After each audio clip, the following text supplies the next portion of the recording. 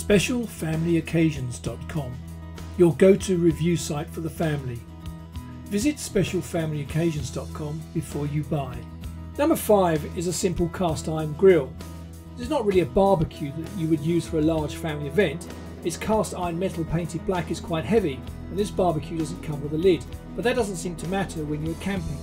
Beware that the handles are a little bit flimsy and the castings don't fit particularly well, they're a bit mediocre in quality. But all in all, this is an extremely good portable grill. SpecialFamilyOccasions.com, your go to review site for the family. Visit SpecialFamilyOccasions.com before you buy.